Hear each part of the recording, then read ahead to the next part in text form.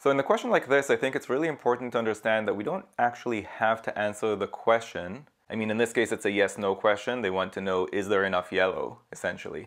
But I don't need to actually find out whether or not there is enough yellow. I just need to be confident that I could find out the answer if I wanted to. Now we're given the ratio of blue to yellow to red. It's 2 to 3 to 1.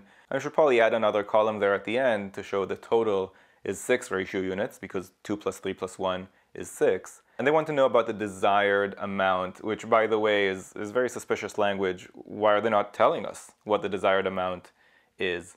And uh, in fact, it would be absolutely impossible to answer this question without knowing what that desired amount is. Do you see that statement 2 doesn't have a chance of being sufficient on its own just because we don't have information about the desired amount? Let's go ahead and eliminate the answer choices that claim that statement 2 is sufficient on its own. So B and D are gone. We're down to A, C, or E. Now statement 1 does tell us the desired amount, but with just statement 1 on its own, we don't have any information about any of the amounts of paint at our disposal. We have that ratio that they gave us, but we don't know anything about actual quantities of paint. All we have is our desired amount, and that can't be sufficient on its own either, so we can go ahead and eliminate A. Let's combine the statements right after the intro.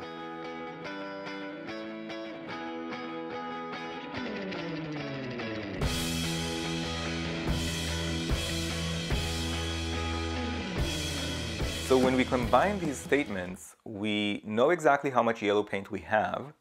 We also know what the desired amount is. So if we have some way to connect those two ideas together, right? How much yellow paint do I need compared to what my desired amount is?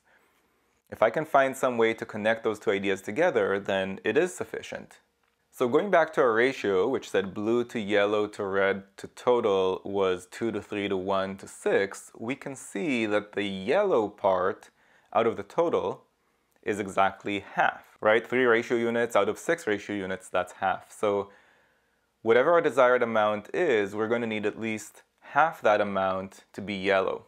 Now maybe the answer to the question is yes, maybe the answer to the question is no, but whatever it is, I'm confident now that I could find that answer if I wanted to, and therefore the correct answer is C.